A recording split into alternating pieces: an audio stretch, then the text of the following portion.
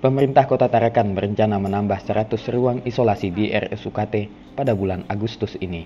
Dengan adanya tambahan ruang isolasi untuk pasien COVID-19 yang bergejala ringan hingga berat, maka Pemkot juga akan merekrut tenaga kesehatan tambahan. Wali Kota Tarakan Dr. Hairul mengatakan, tambahan ruang isolasi tentu harus dibarengi dengan tambahan tenaga kesehatan namun jika dilihat dari tenaga kesehatan yang ada di RSUKT saat ini, sebenarnya sudah mencukupi. Hanya saja, peningkatan pasien COVID-19 akhirnya membuat pihaknya juga membutuhkan nakes yang cukup banyak.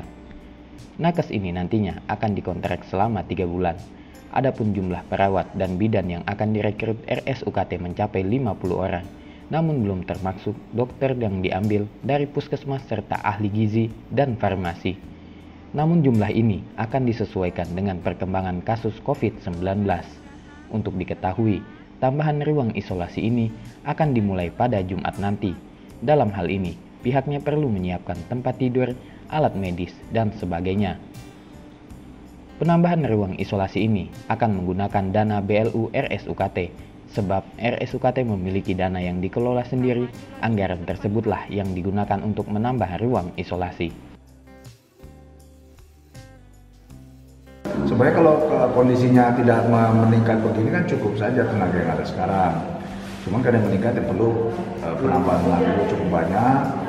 Nah, nanti kalau selesai kan kalau itu membazir juga tuh tenaga nanti kalau sudah pasien COVID-nya berkurang terus tenaganya banyak kan nanti malah kan itu mau rekrut aja perawat bidan itu udah 50 orang kan banyak itu hampir sama dengan yang ada sekarang ini jadi itu kan nah, tentu kalau nanti sudah COVID-nya turun ya tentu sesuai janji ah, perjanjian kita ya tiga bulan mereka.